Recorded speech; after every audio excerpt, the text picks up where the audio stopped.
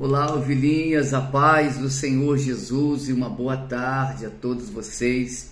Agora são 18 horas e nós vamos fazer aqui juntos, né, a oração da quebra de maldição, tá bom? E em nome de Jesus eu tenho certeza que Deus ele vai te honrar e te abençoar.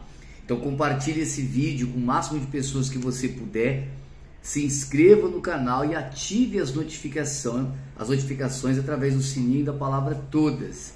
E antes de você sair aqui, por favor, deixe o seu like para abençoar o canal e o canal ele crescer. Amém? Amados, está se aproximando, hein? Os três últimos dias do mês já estão se aproximando.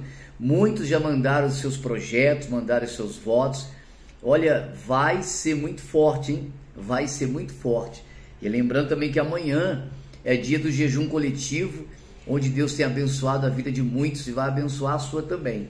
Esteja preparado para estar conosco jejuando amanhã de até quarta-feira, meio-dia, em nome de Jesus, tá? Tô com a minha Bíblia aberta aqui, irmãos. Sabe que a Bíblia fala que tudo que a gente planta, a gente colhe, não é assim? Tudo que o homem plantar, o homem vai colher. Ele fala assim aqui no livro de Provérbios 24, é, versículo 17, ó. Quando cair o teu inimigo, não te alegres, e não se regozije o teu coração quando ele tropeçar, para que o Senhor não veja isso e lhe desagrade e desvie dele a sua ira. Tá vendo, amados? Nós não devemos ficar felizes nem com a queda dos nossos inimigos. Nós não devemos se alegrar com os problemas na vida do próximo. É o nosso dever orar por eles, é o nosso dever é, é, buscar de alguma forma ter paz com eles. Porém, amados, a nossa fé está baseada na palavra. A gente não deseja o mal a ninguém porque nós entendemos que quem planta colhe e aquilo que você fala ou que você faz volta para você. Então é melhor estar tá em paz com Deus, obedecendo a palavra, e vai ter coisas que é vai ser difícil né, para fazer, mas é a nossa obrigação como cristão e nós vamos fazer. E nós vamos fazer, tá? Custe o que custar, como Jesus ensinou Pedro a perdoar os inimigos, né? Custe o que custar, nós vamos atuar nesse campo, porque nós temos certeza que o bem que a gente faz é o bem que a gente recebe, tá bom? Ainda que a pessoa não mereça, não importa, não é por merecimento. Aliás, não é sobre a pessoa, né? É sobre você. Quando você faz e obedece a palavra, você está plantando para você colher. Então, amém, amados. Seja lá quem for, continue fazendo bem sem olhar a quem. Repita comigo: que habita no esconderijo do Altíssimo descansa sombra do Onipotente, diz ao Senhor: Meu refúgio, meu baluarte, Deus meu em quem confio. Pois ele te livrará do laço do passarinheiro e da peste perniciosa Cobrir-te-á com as suas penas e sob suas asas estarás seguro. A sua verdade é pavês e escudo. Não te assustará do terror noturno, nem da seta que voa de dia, nem da peste que se propaga nas trevas, nem da mortandade que assola o meio-dia. Caiam mil ao teu lado, dez mil à tua direita, tu não serás atingido.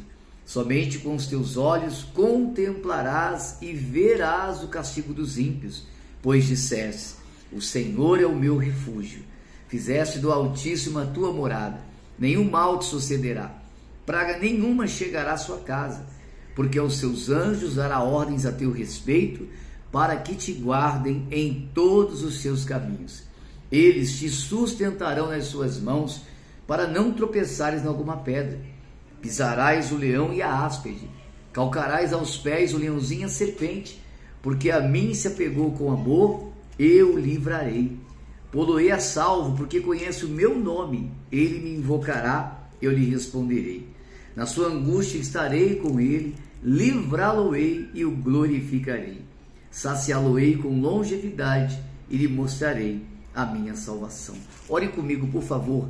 Pai, nós declaramos unidos em fé que toda maldição dentro desta casa, que toda maldição nessa família, a maldição que está na saúde, que está na vida financeira, toda maldição que está no casamento, Pai, em nome de Jesus, está quebrada. Quebra, meu Deus. Desfaz esse mal, para que a vida dessa ovelha possa andar e ela possa ser feliz. Afasta esse mal para longe, quebra esse mal de todas as formas possíveis. A tua palavra diz que por um caminho vem o mal, mas por sete caminhos fugirá de vós. Abençoa poderosamente essa ovelha, meu Deus, que o Senhor mandou essa oração para ela. O Senhor encaminhou de alguma forma essa oração chegou até ela. Meu Deus, limpa o nome dela espiritualmente, lava a vida dela espiritualmente, o casamento dela, e a partir de hoje, nenhum mal sucederá e praga nenhuma estará na casa dela. Abençoa os comprovantes, abençoa, meu Deus, os projetos e também o copo com água. Quem beber seja curado, seja livre e abençoado. No nome do Pai, do Filho e do Espírito Santo. E quem crê, diga amém e glória a Deus. Receba, meus irmãos, a quebra da maldição, seja livre, tá? Beba desta água consagrada e ungida e seja imediatamente livre de todo mal, tá bom, queridos? Em nome de Jesus, nós declaramos que já está quebrada a maldição. Aliás, comenta aqui embaixo, tá? Deixa escrito aqui, já está quebrada a maldição em nome de Jesus, tá bom? Ó, eu volto às nove da noite trazendo palavra e milagres para a sua vida em nome de Jesus, tá bom? Eu vou ficando por aqui, mas se você precisar, por favor, é só chamar. Tchau, queridos, Deus abençoe, compartilha muito aí, tá?